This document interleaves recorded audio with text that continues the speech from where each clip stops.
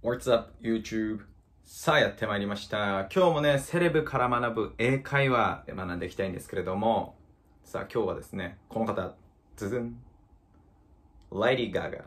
ね言わずと知れた歌姫。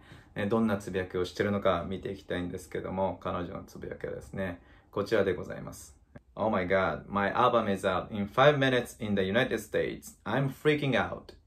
でございますね。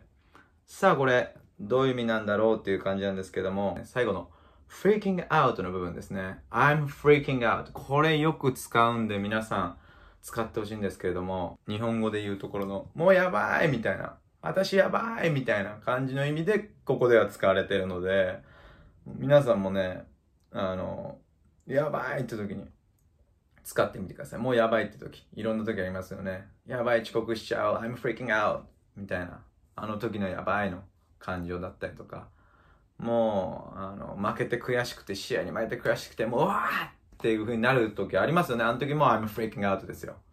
ねえ。I'm freaking out. ねえ。叫んじゃうというか、なんていうか、ねえ。I'm freaking out. あのー本当に、ネイティブの人たちはよく使う表現なので、皆さんもぜひ、日常で使ってみてください。はい。ちょっとね、あの部屋の配置を変えてみたんですけれども、ええあのどんどんどんどんリニューアルしながら楽しく皆さんにネイティブが使う英語の方をお伝えしたいと思います。ちなみに最初にあった OMG っていうのはです。Oh my god の略でよくネイティブがあのつぶやくときに。インターネットですね。インターネットで文字書くときに、インターネットだけじゃないですね。テキスティングっていうね。はい。皆さんメッセージのやり取りをするときに使ったりしますので、OMG って見書いたらなんだっていうのね、自分で調べてみていただければ。まあ他にもね、いろいろあるので調べてみていただければと思います。